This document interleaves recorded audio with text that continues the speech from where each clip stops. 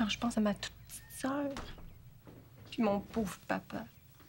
Isabelle doit avoir autant mal pour sa petite fille qu'elle doit être en morceaux pour son gars. Mhm. Mon Dieu, t'es de bonheur sur le piton? Ah, pff, me lève à l'heure des poules depuis quelque temps. Aussi bien faire des petites marches de santé.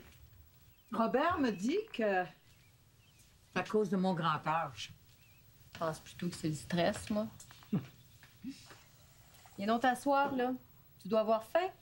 Je veux pas déranger votre petit déjeuner en tête à tête. Dérangez rien, moi j'ai fini, là. Non, viens t'asseoir ici. Hmm?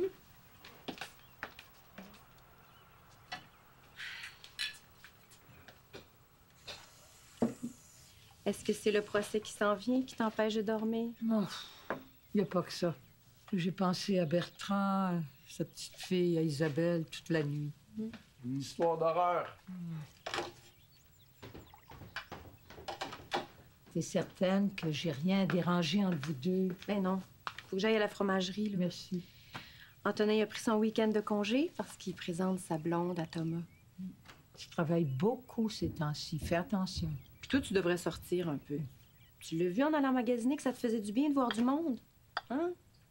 Appelle Robert et Lucille. On va faire un tour de bateau. Tour de bateau? Oui! Merde, grand-maman! Mets-toi donc pas en prison avant le temps.